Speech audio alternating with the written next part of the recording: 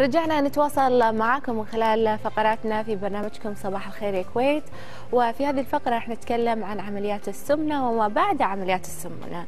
تعد عمليات السمنة أحد الحلول المقترحة للتخلص من السمنة والوزن الزائد والعواقب التي قد تصاحبهم مع بعض الأمراض المصاحبة لهذه السمنة. فالسمنة هي تحدي العصر الحديث. وجاسم يعني آه، من خلال آه، الدراسات شافوا أن آه، نسبة الأشخاص المصابين بالسمنة في ازدياد للأسف. صح أكيد. ويسعى كثير من المصابين بها للتخلص منها وكذلك يلجأ بعض المصابين بالسمنة لعمليات تجميل ما بعد عمليات السمنة للتخلص من بعض الزوائد بالجسم. والحديث أكثر عن التجميل ما بعد عمليات السمنة يسعدنا أن يكون معنا الدكتور حسن مسيب استشاري جراحة حروق وتجميل. حياك الله دكتور. الله يحييك. صبحك الله بالخير. الله يحييكم. صبحكم الله بنور والكرامة. مشكورين على الاستضافة. حياك الله. معنا دكتور حسن. منورنا في برنامج صباح الخير يا كويت. في البداية ودنا نتعرف على أنواع العمليات آه، الخاصة بالسمنة لأن هي متعددة وصارت كثيرة. فهل في آه، يعني مسميات وأنواع مختلفة ودنا نعرفها؟ نعم. طبعا أول شيء لازم نعرف مقدمة بسيطة نعم. إن إحنا للأسف من الدول اللي صرنا آه، معدل السمنه عندنا بازدياد للأسف يعني. هذا الشيء نقوله لأن الناس صارت تعتمد على ال- ال- الحركة الآلية أكثر من الحركة الميكانيكية. نعم. يعني إحنا أول متعودين ان نمشي نروح ليه حتى الفرع اللي ورا بيتنا نروح للجمعيه نروح للمسجد إلى آخره. الحين صار كل شيء بالسيارة كل شيء بالقاري كل شيء بال يعني خل القاري يمكن exception بس إنه يعني cycle نعم. نعم. السكوتر ال... نعم. المكاين يعني صارت هي تمشي بدالنا نعم فصار هذا سبب أساسي لازدياد الوزن دكتور أنت تذكرني حتى إحنا قبل وإحنا صغار نمشي للجمعية أو نمشي المنطقة. كلها بالضبط. إي عادي يعني ما كان في أي مشكلة لما حتى تطلع نص ساعة ولا ساعة إيه. تمشي عادي الحين لا كله مالي خلق كله متعيز كله يعني تبي الأسهل. نعم. نمط فهذا كله تغير بالضبط. بشكل فهو كبير. هو lifestyle هم أكثر من صح. إنه نعم. يعني شيء ثاني. العمليات السمنة هي بشكل عام في لها يعني خلينا نقول أسامي كثيرة وأنواع كثيرة بس نتكلم عن العمليات المصرح فيها على مستوى العالم. زين؟ نعم. يعني دكاترة السمنة لما يس- ي- ي- يتكلمون عن عمليات السمنة يتكلمون عن ثلاث عمليات أساسية وما يصاحبها. العملية الأولى هي عملية التكميم العملية الثانية هي عملية تحويل المسار. العملية الثالثة هي عملية تحويل المسار المصغر. أنا ما راح أتكلم تفاصيل عنهم لأنه مو تخصصي للأمانة بس إن دكاترة ال- جراحة السمنة هم يقدرون يسهبون في الموضوع هذا أكثر. صح. بس إحنا نتكلم عن ما يصاحب العمليات هذه. والمريض اللي يسوي عمليات السمنة متى لازم يتواصل مع طبيب التجميل ومتى ما يحتاج إنه يتواصل مع طبيب التجميل. في ثلاث عوامل أساسية مهمة المريض لازم يعرفهم عن نفسه قبل لا يروح يعرض نفسه على الطبيب. أول شيء يشوف معدل انكماش الجلد في جسمه. نعم. لما ينزل وزنه بسرعة كبيرة زين يعني نتكلم عن مريض ينزل نص وزنه خلال سنة أو ينزل 50 كيلو خلال سنة أو نعم. ينزل 70 كيلو خلال سنة. فيشوف هو جسمه. أول شيء يقدر. هو الحين قاعد ينزل مثلا 10 كيلو بالشهر 8 كيلو بالشهر 12 كيلو بالشهر. يقرر إن جسمه هل هو قاعد يرجع بالمعدل الطبيعي ولا لا؟ قاعد يطيح لتحت نعم. زين؟ هذا الشيء يصير هنقول مع الجاذبية والعكس الجاذبية. هذا رقم واحد. رقم اثنين يشوف التشققات اللي بالجسم. يسميها نعم. التشققات الطولية أو ال stretch marks. نعم. هذه الأشياء هل قاعد تتزايد في جسمه ولا لا؟ مثل ما هي ولا قلت. نعم ال stretch marks هي من الأسباب اللي تخلي الجلد ما يرجع مكانه مرة ثانية تعتبر تشققات يعني يعتبر نعم. خلل في الجلد نفسه اخترب الكولاجين والإلاستين اللي هي المادة اللي مسؤولة عن سحب الجلد نعم. لداخل وانكماشه فيصير في خلل فيبدي يترهل الشغلة الثالثة يشوف طبيعة أكله هل هو قادر يستمر على الأكل المتعادل السعر السعرات أو قليل السعرات ولا لا نعم. هو في حاجة دائما إلى أكل قليل مع سعرات عالية. انزين نعم. الحين هو بعد ال- بعد التكميم آه، في أشخاص تختلف أجسامهم. أكيد إن في ناس يترهل وفي ناس ما ترهل. الرياضة هي لها فائده تمام. الرياضة طبعا خلينا نقول يعني بدل ما المفروض- ألجأ حق عملية التجميل آه، ألجأ حق النادي. صح. إي. زين.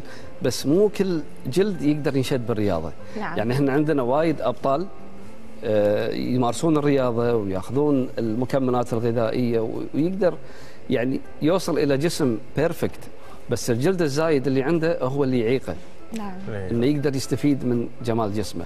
فاللي يوصل لهالمرحلة هي عندنا على أساس إنه يعني هي بالنهاية عمليات ال- ال- التجميل هي عملية تحسين مظهر مو طبعاً. عملية إنقاص وزن. نعم. صح. نعم. آه، دكتور بعد عمليات الشفط أحيانا آه، يعني نسمع ان أشخاص سووا الشفط وبعدها يزيد الوزن لكن مناطق آه، مختلفة عن المكان اللي شفطوا منه الدهون. فشو ممكن هني المريض يتعامل مع سوء توزيع الدهون بجسمه زين. إحنا عشان نفهم ال- ال- الفكرة من شفط الدهون شنو؟ نعم. إذا أنا عندي مثلا خلينا نقول يعني 20 سم ب 20 سم نعم. ال 20 سم هذا فيه مليون خلية دهنية. لما أشفط أنا المنطقة هذه ما أشفط المليون خلية. أنا أشفط 800 ألف وأخلي 200 ألف. تمام؟ لأن بالنهاية الجلد هذا يحتاج إنه يعيش. لأن إذا الجلد هذا راح من الدهن كله معناته الأوعية الدموية اللي تغذي الجلد هذا راح تروح. فأنا لازم أخلي كمية بسيطة من الدهون اللي هي تساعد الجلد على انه يتغذى بالدم وأيضا تعطي حماية للعضلة اللي تحتها. طبعا. تمام. اللي يصير في زيادة الوزن إذا زاد الوزن خلينا نقول 10 20 كيلو مو ما نتكلم عن 3 4 كيلو يزيدون وينقصون نتكلم عن 8 كيلو وانت صاعد. يصعد 10 كيلو ينزل 10 كيلو. يصعد 10 كيلو ينزل 10 كيلو. ال 200 ألف خلية بال 20 سنتي هذيل اللي عندي راح يتضخمون. نعم. زين؟ بس راح يتضخمون لمرحلة معينة بعدين خلاص يعني ما فيها مجال وما راح تنبط. فراح توصل لحجم معين بعدين تبدي المناطق اللي ما انشفطت. لأن عدد الخلايا الدهنية موجود فيها بشكل ثابت فهذه راح تبدي تكبر. تكبر تكبر. نعم. فالشخص اللي يسوي عملية الشفط يتهيأ له أن الدهن قاعد يتجمع في مناطق ثانية. نعم. زين هو ما قاعد يتجمع هو طبيعي لما يزيد وزنه الخلايا الدهنية في الجسم بشكل عام راح تنمو وياه. نعم. بس المنطقة اللي انشفطت لأن فيها ما, في ما. فيها العدد. نعم. زين فممكن الخلايا هذه تتضخم بس ما يزيد عددها. انزين دكتور أكيد كل عملية لها إيجابية ولها سلبية. آه، شنو المشاكل اللي تصير بعد التجميل؟ زين. ال- الشغلة هذه طبعا تحتاج أول شيء تحضير كامل بين الطبيب وبين المريض. المريض لازم يعرف وايد أشياء إن خلينا نتكلم عن مريض السمنة أو بعد عمليات السمنة بشكل خاص هو مو شخص عادي. الشخص العادي طبيعة جلده عادية صح. آه، جسمه طبيعي عضلاته طبيعية ال ال يعني خلينا نقول البروبوشن مال جسمه اللي تعود عليه من صغره لين كبر نعم. طبيعي. وهذا الشيء يعني خلينا نقول مثال عليه ال ال مثلا النساء اللي يصير وياهم ولادات بعدين يرجع جسمهم مثل قبل يصير عندهم بعض الترهلات. فلما نتعامل وياها ما نتعامل كمريض سمنة لا كمريض زاد وزنه ونقص بفترات معينة نعم. ويحتاج إلى إزالة جلد. مريض السمنة لا. كان في فترة من فترات حياته وزنه جدا عالي فكان عنده حتى لو شيء مو باين بس كان عنده خلل في وايد أجهزة منها ال- الهرمونات منها الغدد منها ال- المفاصل زين تكون مستهلكة لما يكون عمرك صغير لما تستهلك المفاصل ما راح تحس فيها أنت صح. بس لما تكبر زين وهذا الشيء هم أيضا يعني لازم نروح حق النساء مرة ثانية ونقول نعم. الكعب الضعيف والكعب العالي نعم. زين وإحنا صغار بالعمر ما نحس ان إن هذا الشيء يأثر. بس مع بداية التقدم في العمر والتقدم ما نتكلم عن 50 نتكلم عن 35 ممكن تبدي آلام الظهر تبين. ونفس الشيء الناس اللي ثقال صح. على عمر الثلاثينات آلام الركب تبدي تبين. نعم. آلام الظهر يبين وياهم. فهذا الشيء مستهلك. على سنوات فلما هو يفكر يسوي عملية السمنة في عمر صغير راح يحافظ على نفسه أسرع من لما يسويها بعمر 45 ولا عمر 50 نعم. فنرجع مرة ثانية لما يكون في التواصل هذا بين الطبيب وبين المريض والمريض عارف أنه هو قبل العملية لازم إذا كان مدخن لازم يوقف تدخين على الأقل أسبوعين إلى أربع أسابيع. إذا كان مثلا يشرب كحول لازم يوقف الأشياء هذه لأن هذه تأثر على سيولة الدم. إذا كان مثلا يمارس أي عادات خاطئة مثل آه، يعني مثلا خلينا نقول يمارس آه، رياضات يسمونها الكفاءة العالية. نعم. فهذه هذه فنون قتالية مثل مثلا فنون قتالية وشي. نعم. هذه الأشياء لازم يحتاج إنه يهدها لمدة شهرين أو ثلاثة شهور على ما يتعافى كامل. نعم نعم. يعني هذه الأشياء لازم يحطها في باله لأن إذا صار خلل في هالاشياء تبدي المشاكل نعم. تزيد في المريض. نعم. وتبدي المضاعفات تطلع اللي المفروض ما تكون موجودة. نعم. حلو. أيضا دكتور في عامل مهم اللي هو الوزن هل في علاقة ما بين الوزن وعمليات التجميل الخاصه بالجسم أكيد طبعا أكيد إحنا عندنا شغلة نسميه ال body mass index اللي نعم. هي كتلة الجسم آه للشخص هذا نفسه نعم. فكتلة الجسم هي عبارة عن الوزن تقسيم الطول تربيع يعطينا رقم الرقم هذا إذا كان بين العشرين والخمسة وعشرين هذا الشخص يعني في وزنه المثالي. إذا كان تحت العشرين معناته نعم. وزنه أقل من المثالي. إذا وزنه كان فوق ال 25 معناته دخل في زيادة الوزن. بس ما نعم. وصل للسمنة للحين. إذا وصل ال 30 معناته بداية السمنة. إذا صعد عن ال 35 هذه سمنة مفرطة. زين؟ ونصعد بعد وياها بالشيء نعم. هذا. عمليات التجميل لو كان الوزن بحدود ال 25 كتلة الجسم تكون العملية جدا مناسبة. إذا كان شوية أعلى. زين أو شوي أقل. يعتمد على تشكيلة الجسم نفسه. أكو واحد مثلا كتلة جسمه 27 أو 28 بس ما شاء الله طويل عريض. لو سوي له عملية بسيطة راح يتحسن جسمه وايد مو شوية. ونفس الشيء لما واحد أو واحدة تكون مثلا وايد قصيرة. فيعني لما تكون كتلة جسمها مثلا 30 أو 31 ممكن ما تحصل النتيجة اللي هي تبيها.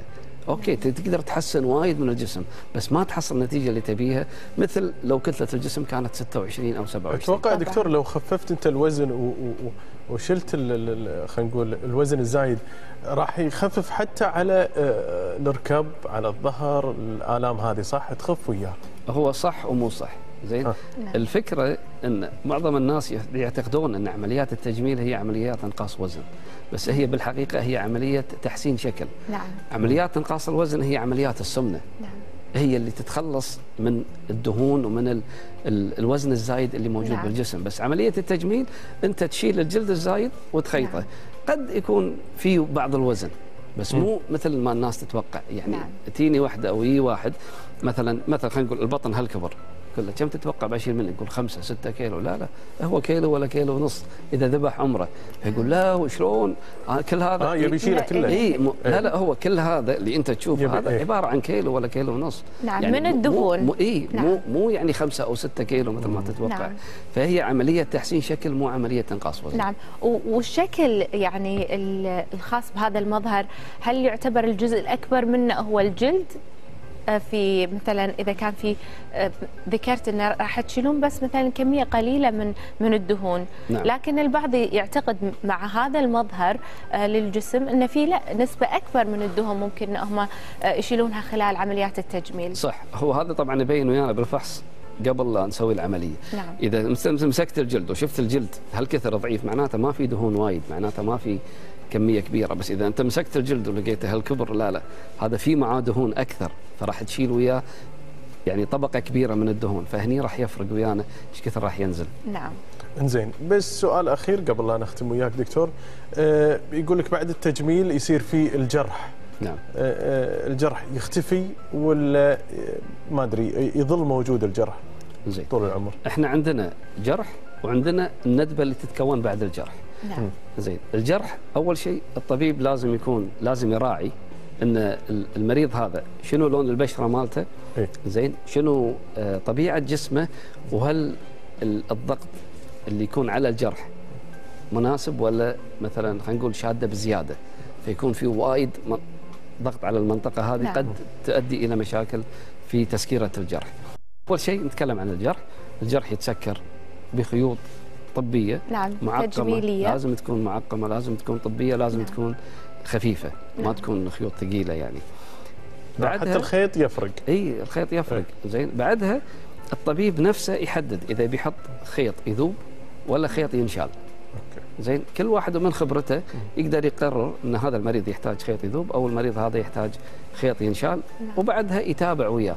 بعد ثلاث أسابيع من العملية يتكون الأثر أو الندبة مالت العملية. نعم. هني نبدي كل ما نعالجها يعني أبكر كل ما نقدر نحافظ على الشكل مالها إنه يكون انعم نعم.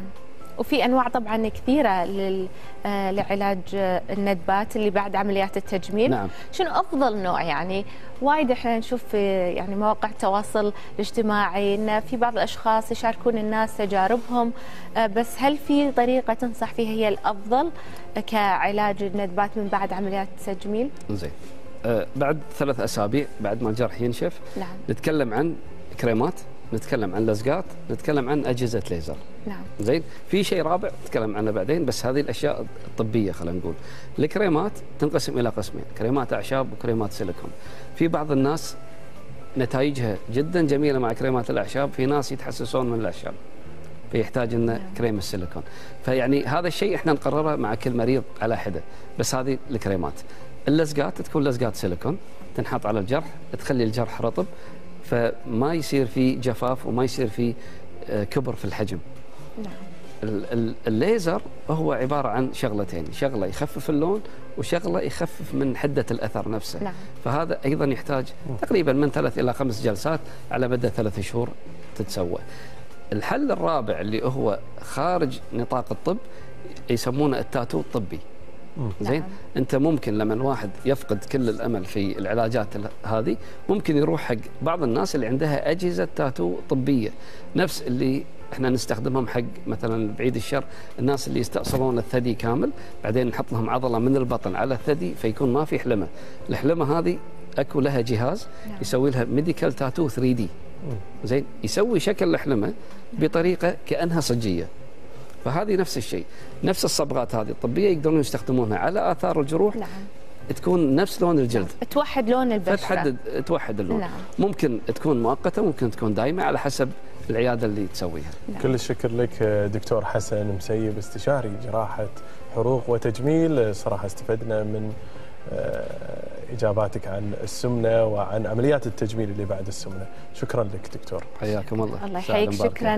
لك دكتور نورتنا خلونا الحين ننتقل معاكم متابعينا لزاوية ثانية من زوايا برنامجنا مع غادة غادة إيش عندك؟ شكرا جاسم وشكرا دكتور حسن المسيب على هذا الكلام الجميل اللي قلته على كثر ما التجميل جميل وحلو والنتائج إن الواحد يدخل في غمار عمليات تجميل عشان يطلع بقوام حلو على كثر ما له خلينا نقول تبعات ومضاعفات ممكن إنها تكون سيئة ممكن تكون جميلة لكن بالمحافظة عليها واتباع الإرشادات الطبية وعشان ما نوصل لهذه المراحل سمنة حروق جسد مو جميل قوام مو حلو ندخل في عمليات المشرط مشرط الجراح. خلونا ناخذ هذه المعلومات الصحية حتى نحافظ على صحتنا وصحة أجسادنا مع الدكتور روان لنعيمي أكيد طبيب العائلة. خلينا نشوفها ونرجع لكم.